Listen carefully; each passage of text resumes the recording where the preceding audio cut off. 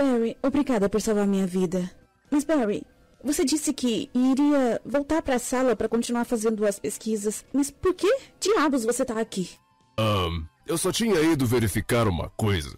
Essa passou perto. Você quase virou um sanduíche de Jill. Bom, vamos voltar a procurar o capitão e o Chris, tá bom?